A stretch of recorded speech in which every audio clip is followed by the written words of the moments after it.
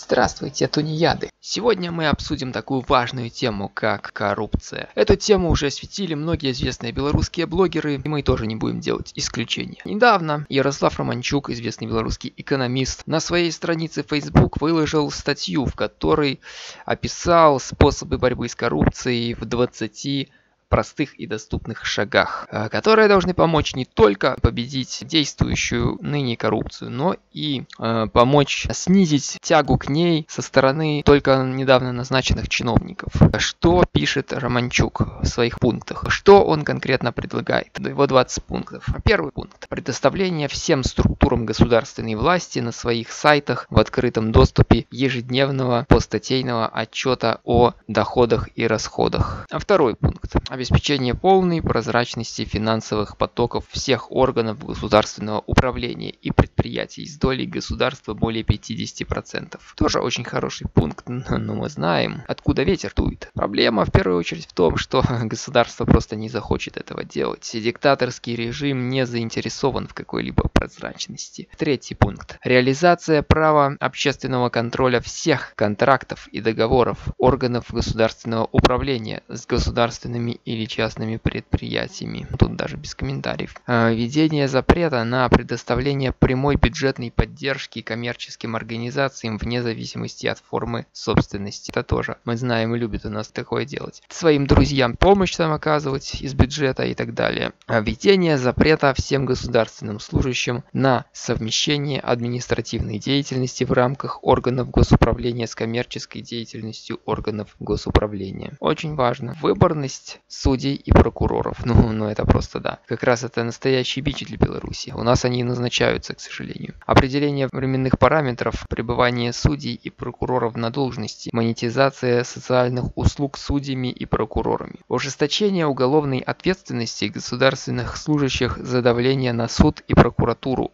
а также за злоупотребление властью и мошенничество при распределении бюджетных ресурсов. Но тут на самом деле давление со стороны власти, оно инициируется прямо-таки самим, самим руководителем. Они, может быть, и рады были не осуществлять давление, но когда Солнцеликий скажет, куда ж ты тут денешься? Введение запрета на трудоустройство в органах государственного управления на 10 лет в случае установления в установленном законом порядке участия в коррупционных сделках за грубое грубое нарушение процедуры использования государственных средств, злоупотребления служебным полномочием. То есть у нас сейчас мы знаем, прошли дела, когда чиновника, которого судили за взятку в Солигорске, и ему грозило 8 лет тюрьмы, не только оправдали, но и назначили на управляющую должность, просто в другом месте. Очень важная, кстати, статья. Девятый пункт. Четкое регламентирование бесплатного использования государственными служащими, в том числе высшими должностными лицами государственных активов, имущества и недвижимости. Да, это у нас тоже такое дело, серьезная проблема с этим. На халяву живут чиновники всякие, да и расходуют просто нецелевым образом. Ликвидация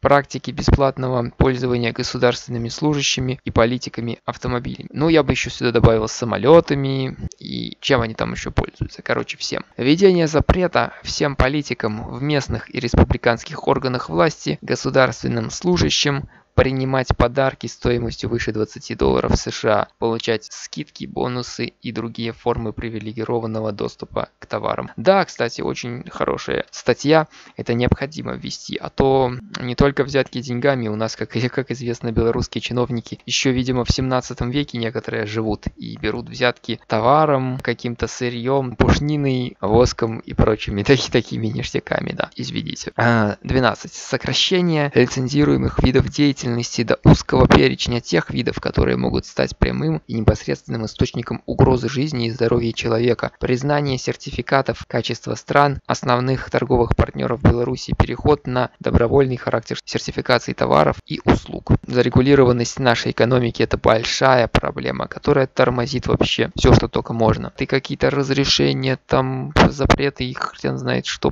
вводили. А люди просто уже не знают, что там надо, что там не надо. Все надо максимально именно упростить. Тринадцатый пункт. Приватизация средств массовой информации, в том числе электронных. Снятие всех ограничений на вход на рынок иностранных СМИ. Приватизация или ликвидация печатных СМИ, учредителями которых являются местные органы власти. Очень важно. У нас огромное количество государственных каналов. За наши деньги, за наши налоги живут, существуют и нам же втирают чушь. Вопрос, а нафига это надо? Тем более их уже мало-то кто смотрит. Обязательная публикация в открытом доступе на сайтах соответствующих органов госуправления, стенограмм заседаний всех органов государственной власти, встреч с избирателями, проведение тендеров и аукционов по госзакупкам, а также судов. Что касается некоторых мероприятий, они публикуются, а вот некоторых они вообще не публикуются. А вот что касается стенограмм заседаний какого-нибудь горисполкома, так не только стенограммы, но местное телевидение обычно даже снимает это очень важные, в кавычках, и интересные мероприятия. 15. Введение законодательной нормы обязательного декларирования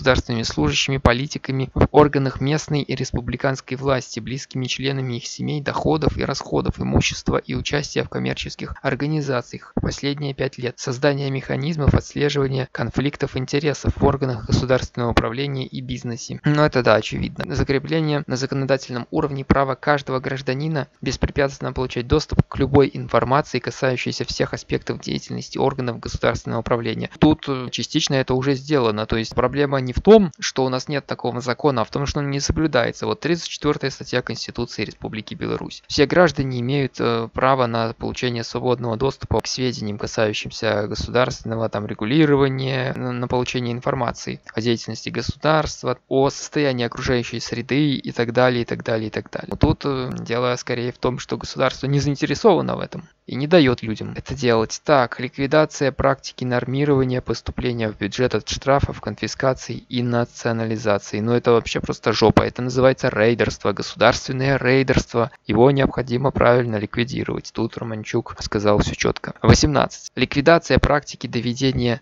до коммерческих организаций целевых показателей производства, инвестирования, торговли, это в 21 веке, да. У нас что? Командно-плановая экономика, социализм или что у нас тут вообще такое? То есть государство. И частным каким-то бизнесменам говорит, вы должны поставить вот столько этого, вы должны там продать вот столько вот этого, чтобы вот там взять столько-то людей конкретно. Идиот. 19. Перевод административных процедур, электронный формат, получение разрешений, лицензий, справок и т.д., полноценное развитие электронного правительства и government. У нас пытаются уже как бы что-то сделать. То есть э, в электронной форме уже можно в налоговую, горисполком, по-моему, администрацию президента тоже что-то уже отправлять. Тут идет, уже процесс идет. 20. Введение правовой нормы, проведение всех аукционов, тендеров и торгов при обязательной их трансляции в режиме онлайн через веб-камеры. Предоставление полной информации о коммерческих структурах, которые выигрывают тендеры аукционы торги по осуществлению государственных закупок или размещения государственного заказа. Очень важный пункт действительно нужно сделать, но тут опять вопрос упирается в государство и в чиновников. Им это невыгодно. Не нужно им это зачем? Лучше э, в тени, когда никто не знает, когда нет никакой конкуренции, когда можно и на лапу взять, чтобы кто-то выиграл. Тараканы любят тень. Вот что тут можно сказать. Поэтому это обязательно надо сделать. Что ж,